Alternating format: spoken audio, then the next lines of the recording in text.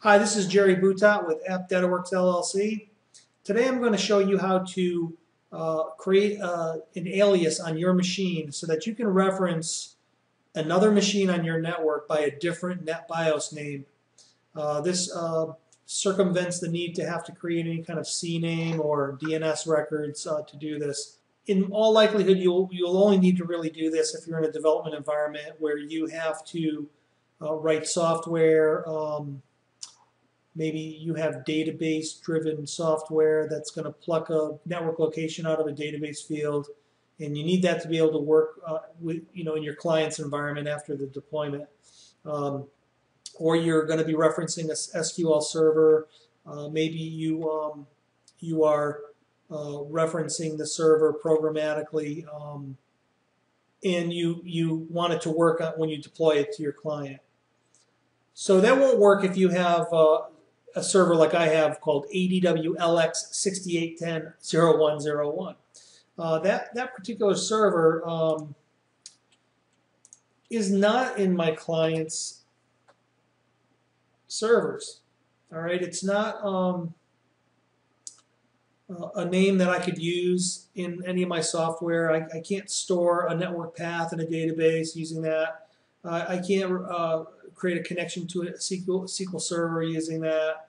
Um, a lot of my software will, software will dynamically uh, connect to SQL servers based on values that it finds in a database. So how do I get around that in my development environment? Well, um, creating an alias will allow you to do that. So let's look at, let's actually go and see what the IP address is for my, my uh, other machine now, okay? So we'll ping ADWLX6810-0101. Oh, I'm going to get the, the IPv6 uh, addresses. Let me try that again. Let me ping ADWLX6810-0101 with the uh, IPv4 switch. So I can see that it's 192.168.1.146. Okay, so um, if I try to ping any of the um, server names that, that would say exist on a client's machine um, environment, like SQL server. That's going to come back saying it can't find it. How about uh, file server? Oh, ping file server. And it's going to come back saying that it can't find it. Okay, so what, what do we want to do? We want to make sure that I can use that server machine for two purposes. One, it needs to, to mimic uh, the SQL server, and the other it needs to mimic the file server.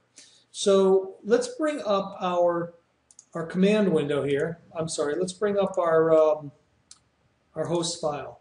So in the in the in the folder C Windows System 32 drivers etc. There is a file called hosts, and if we open that up using Notepad, you'll see basically this is the default way that hosts will always look until you change it. In our case, we want to get one nine two one six one six eight one one four six to respond to the name SQL server. We also want it to respond to the name file server. Okay? So we save that. And now if we come back here and we say ping it, ping SQL server, we're now, it's coming back with this, the same IP address as the original ADW LX 6810.0101. Now, these, these don't necessarily have to be the same IP address. You might have two different servers in your organization. One might be a SQL server, the other one might be a file server. You might have everything on one laptop and, and still need to be able to do this. And, and that's a, uh, an, a video for another day. But for right now, let's just work with this one machine. We need to see it as two different machines in our software. Um, so we're going to set it up so that your machine can work with that. And that's what I just did. So let's go and ping the file server now. And a we see that we are still getting this. Now, I happen to know that on the server, ADWLX6810.0101, there is a share called Jerry, in which I can access. Okay. And now that I have aliased that machine with the two different alias names, I can access that Jerry's share using either name. I can use uh, SQL Server,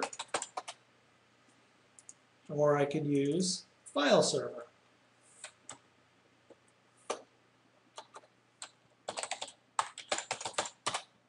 So there you have it.